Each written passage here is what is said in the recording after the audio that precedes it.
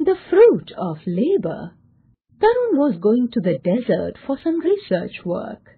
On his way, he felt very hot and thirsty.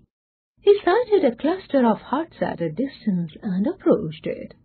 As he got closer, he could not believe his eyes. This village in middle of the desert was full of green trees. Tarun reached the house of the village headman and requested him for a glass of water.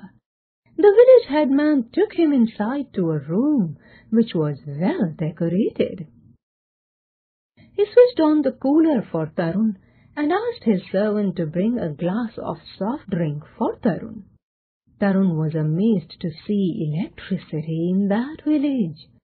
After relaxing a little, he requested the headman to satisfy his queries. The village headman said with a smile, This village is a green miracle in the desert. It is the fruit of the labor of a single person. The headman told Tarun that twenty years ago things were not the same as today. The village was dry and barren.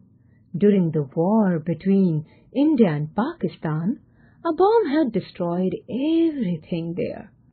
Most of the villagers were killed instantly, and those who survived succumbed to their injuries eventually.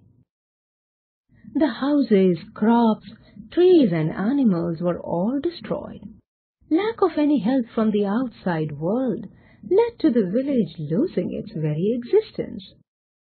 What happened then? asked Tarun. The headman continued.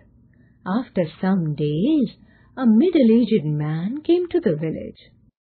Nobody knew who was he or where he came from, but it seemed that he was deeply attached to the village.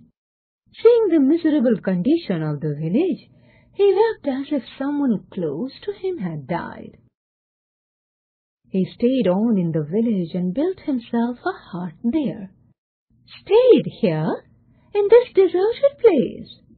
Tarun could not help exclaiming. Nodding, the village headman continued his story.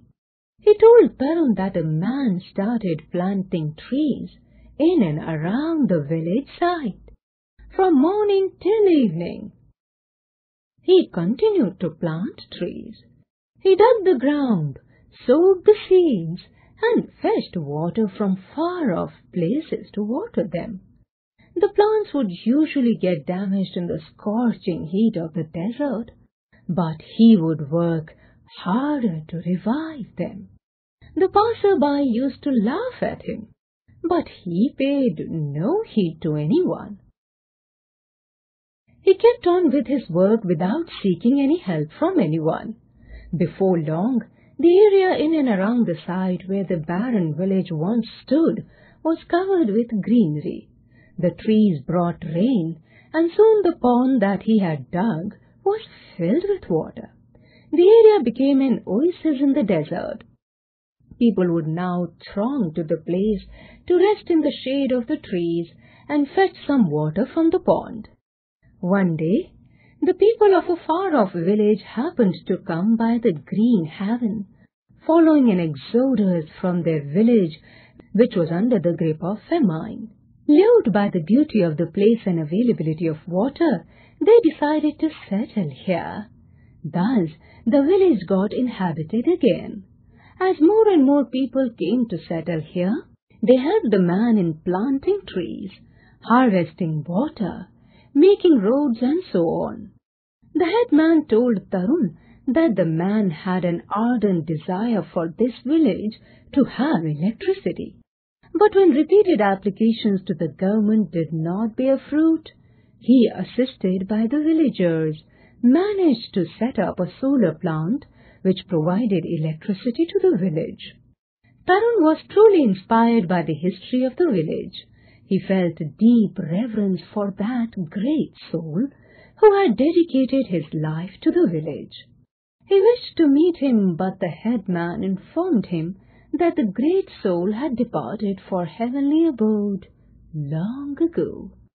Tarun was filled with respect for the man. he had never met. He imagined that the man was at a far-off place, still planting trees for a better tomorrow. He also understood that his hard work and perseverance had paid off.